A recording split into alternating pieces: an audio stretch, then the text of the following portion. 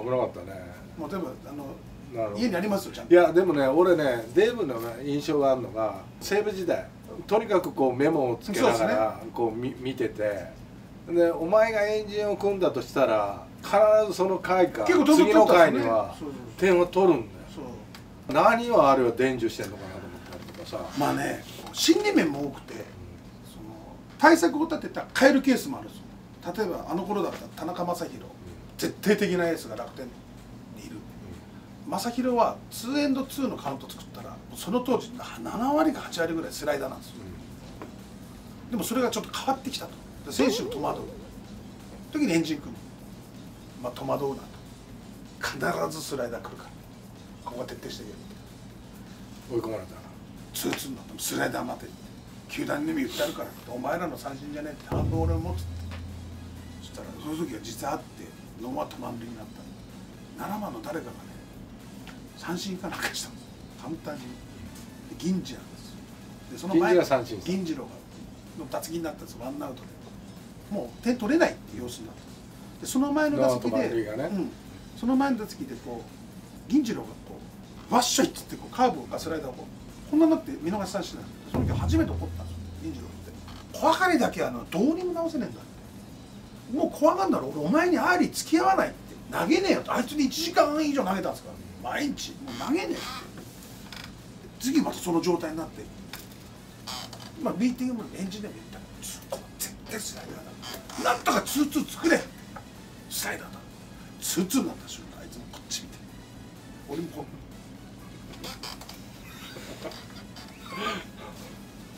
スライダーガー左中間走者一掃のさ逆転タイムリー打ったんですよ。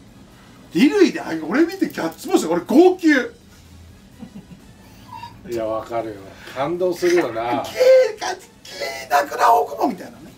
そういう感じだったわけですで一回豊ちゃんに「カラカどうやって打ちます?」って俺今連絡したことあるんですよ。2008年、まあ、俺なら1人5球ぐらい放らすイメージで指示するなっつって。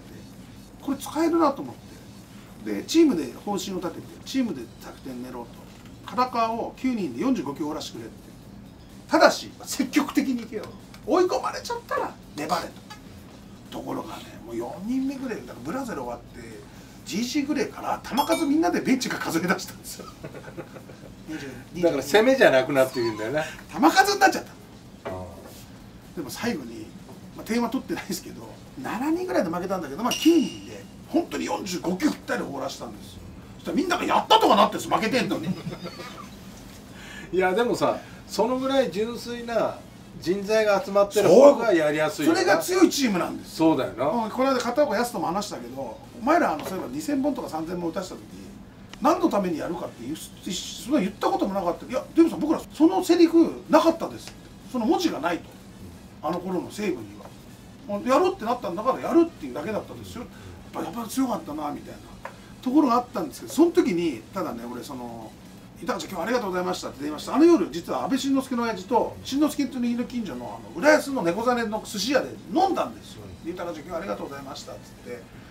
で次に繋がるなと思ったんです。やっぱ振りに行っちゃう一球となんとかしようと思った一球って次に繋がると思った。ところが4か月ぐらい当たんなかったんですよ。唐川ともう最後の頃当たった時はめった打ちですよ。大リベンジ。めった打ち。やっぱみんなもその極意生きてましたみたいになって言ってくれたんだけどであの時も今度ちかさん電話して「ちかさん俺あいつらの大事な一切一切だけ取っちゃって」みたいな。なったんですよ。呼吸を掘らせろってメインになっちゃってなんかもういやー違ったのかなみたいな。でめった打ちした時も泣いたっす。豊ちゃん以上に泣いてましたあのシーズン。そうだよな。よく泣いて肉離れもしてな。あバッ両方。両足な まあでもその熱さがないとやっぱコーチってやっちゃいけないよな。やっちゃダメですよ本当に。いやその泣くぐらいにそこう入っていっと。かそうないとですよ冷静にね、えー。何言ってぶつけられてんのに。ねなんかこの間もどっか誰だっけヤクルトの首脳陣がやじってなんか怒られたの。ああそうそう冗談じゃねえよって。あそこは戦ってんだって。相手のことやじだのって文句やる筋合い何にもねえとは思った。内容は分かんないですよだからそれが記事になること自体は大間違いだって。無法地帯であんながあってその野球のルール以外は。メンタルはそうじゃないですか。クロスっていかなきゃ立てます打席。いや立てないよ。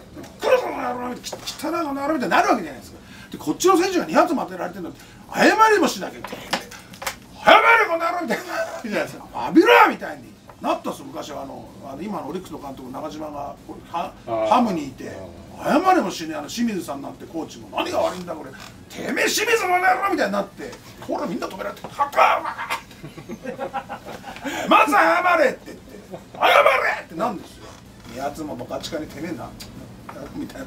前の日もぶつけられててほなんで怒ってんのぐらいになって謝れみたいになるわけじゃないですか一回謝ってでもなんかあれだよなコーチ会議で「いやあいつ当たり屋さんだからもう厳しいとこ行ってくださいよ」ってピッチングコーチに言いそうだよ。それ一回も言ったことないんですよ。あそう。もうそでもキャッチャーやってたから そのそれを自分の意思でだってやんない時はねピッチャーも崩れんですよ、まあまあそろそろゴルフもわざとカーンフック打かなきゃいけないとか高い球打たなきゃそのティーショットってそれやったとカタカタになるんですよ。一流のプロも。せいせいとこういかないとピッチャーなんか特に。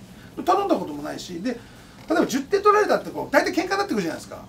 野手とピッチャーのコーチもなんか野手陣と投手陣じゃなくて俺は11点取ればいいでしょって言って取れよ。って向こうが何点取られても何だけ取られるやっておめちゃも打てねえ時どんだけやんだっていう考えだからただそのあの頃もダルビッシュと2008年も当たった時にバッテリーミーティングをやってる時僕らのミーティングは個人でやるんで野手は。全体はバッティング練習終わりで今日ここの指示でいくぞこれでいくぞって終わるんですよ。あと個人で予約帳つけるんですよ。遅く来るやつがね全体ミーティングなんか一緒にやることないし。大体スタメンしか先発なんか当たんないじゃないですか。あとねもう後ろの代打陣なんかねあの頃の佐々木のこと見なきゃいけないのに。まあそうそう。野村弘樹なんか見てたって俺出てねえよ試合みたいな。まあそうそうはあ眠ったよこのミーティングみたいな。あれやんないんですよ。あいいこと。監督の許可取ってるんですけど。その時はダルビッシュの時は俺俺言ったっすもん。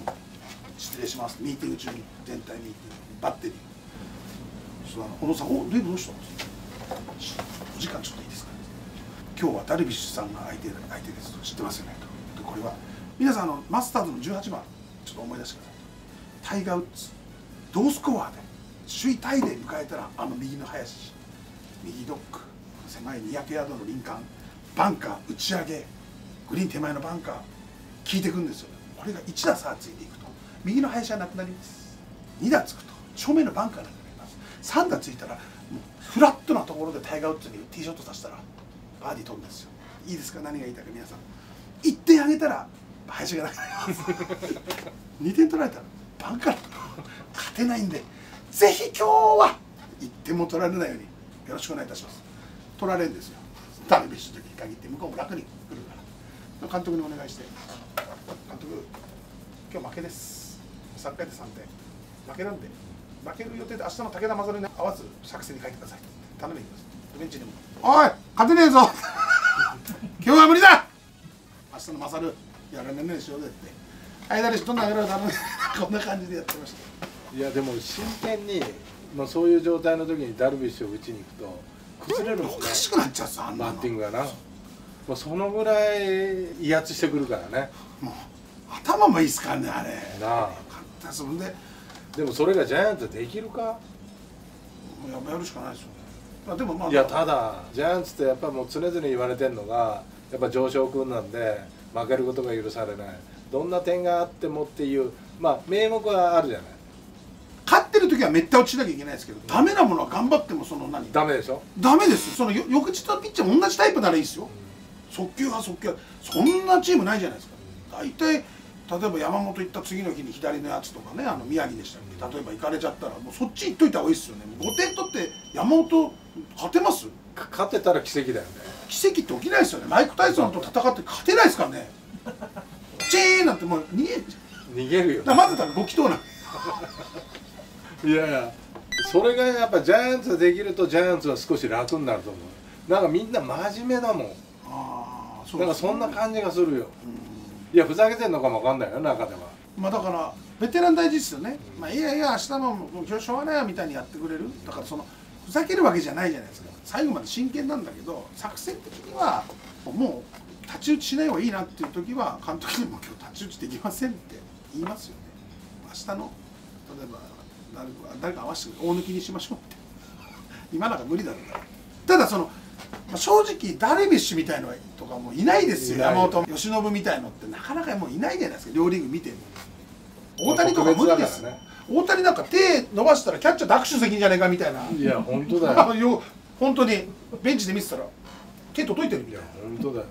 あのー佐々木朗希なんかルフィみたいに腕が伸びるなから、おおってね。だからあ無理ですあの風が強いところでだから東京ドームで交流戦やるのを祈るしかないですね。彼が投げるの。どっちかですままだ予定を見てないですけど。いやーでも大変だろう。今から考えても。大変ですね。優勝は目指すよねもちろん。優勝はするんですよこれできる。できちゃうんですよ。本当に。